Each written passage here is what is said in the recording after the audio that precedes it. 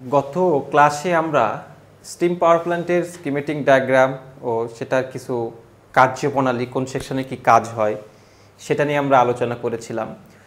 আজকে আমরা দেখব যে থার্মোডিনামিক্স সাইকেল, অর্থাৎ সাইকেল জিনিসটা কি?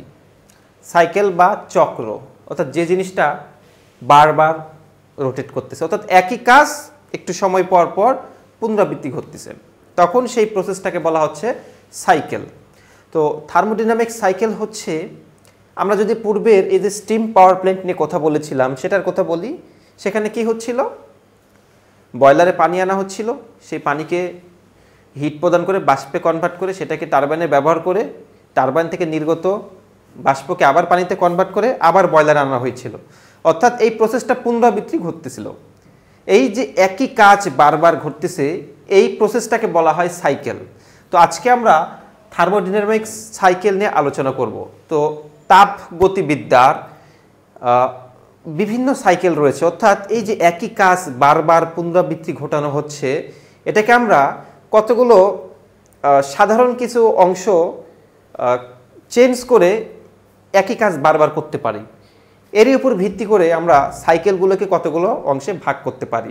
তো আমরা থার্মোডিনামিক সাইকেলের ক্লাসিফিকেশন দেখার আগে অবশ্যই আমাদের সাইকেলটা কি আর থার্মোডিনামিক সাইকেলটা কি, এটা সম্পর্কে কিন্তু আমাদের ক্লিয়ার ধারণা থাকতে হবে।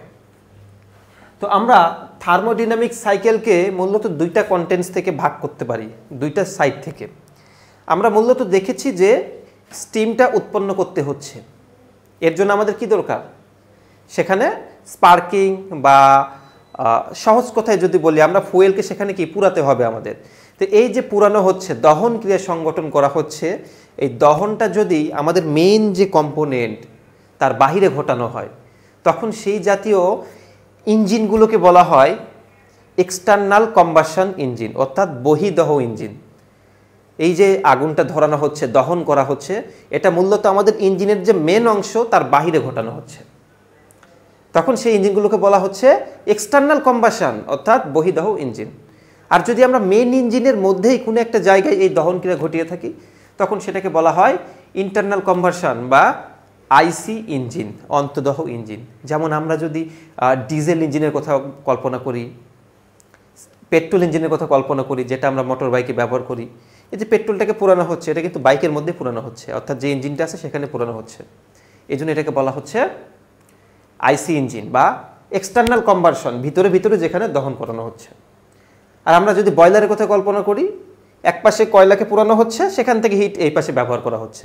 মেন অংশের বাহিরে। তখন সেটাকে বলা হচ্ছে এক্সটার্নাল কম্বারশন তাহলে আমরা থার্মোডাইনামিক সাইকেলকে মূলত এই যে বাহিরে দহন করানো হচ্ছে না, ভিতরে দহন করানো হচ্ছে, এর উপর ভিত্তি করে দুইটা প্রসেসে ভাগ করতে পারি। যেমন, যদি আমরা এক্সটার্নাল কনভার্সন ইঞ্জিনের কথা কল্পনা করি এই ইঞ্জিনগুলো মূলত পাঁচ ধরনের সাইকেল অনুযায়ী আমরা চালাতে পারি। অর্থাৎ মোট পাঁচটা সাইকেল আছে। অনেক সাইকেল আছে, তার মধ্যে পাঁচটা বহুল ব্যবহৃত সাইকেল। যে সাইকেলগুলো মূলত এক্সটার্নাল কনভার্সন ইঞ্জিনে বা বহিদহ ইঞ্জিনে ব্যবহার করা হয়। সে সাইকেলগুলো হচ্ছে, আমরা সেগুলো স্টেপ ওয়াইজ দেখি। তাহলে আমরা এক্সটার্নাল কনভার্সন ইঞ্জিনের ক্ষেত্রে এই পাঁচ ধরনের সাইকেল ব্যবহার করে থাকি।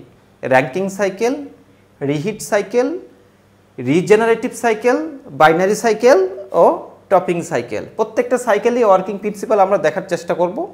তো আমরা যে স্টিম পাওয়ার প্ল্যান্ট আলোচনা করেছিলাম, এই পুরো স্টিম পাওয়ার প্ল্যান্ট মূলত এই র্যাঙ্কিং সাইকেল বেস অর্থাৎ এই র্যাঙ্কিং সাইকেলটাকে অনুসরণ করে একটা স্টিম পাওয়ার প্ল্যান্ট অপারেট করা হয়, যেটা আমরা এর পরবর্তী ভিডিওতে দেখব যে র্যাঙ্কিং সাইকেলটা আসলে কীভাবে অপারেট করানো হয়। এখন যদি আমরা ইন্টারনাল কনভার্সন ইঞ্জিনের কথা কল্পনা করি আইসি ইঞ্জিনের ক্ষেত্রে। সেখানে কি কি ধরনের আমরা সাইকেল ব্যবহার করে থাকি? আমরা অন্তদহ ইঞ্জিনের ক্ষেত্রে মূলত এই তিন ধরনের সাইকেল ব্যবহার করে থাকি। একটা হচ্ছে স্পার্ক ইগনিশন সাইকেল একটি হচ্ছে কম্প্রেশন ইগনিশন সাইকেল অ্যান্ড অপরটি হচ্ছে গ্যাস টারবাইন সাইকেল তো যদিও আমাদের এই সাবজেক্টে এই বিষয়গুলো এলিভেটলি জানার প্রয়োজন নেই, জাস্ট আমরা বেসিক কিছু অংশ সম্পর্কে জানব।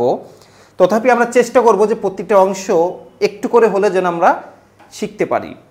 তো আমরা পরবর্তী ভিডিওতে আমাদের র্যাঙ্কিং সাইকেল নিয়ে আলোচনা করব। সবাইকে ধন্যবাদ।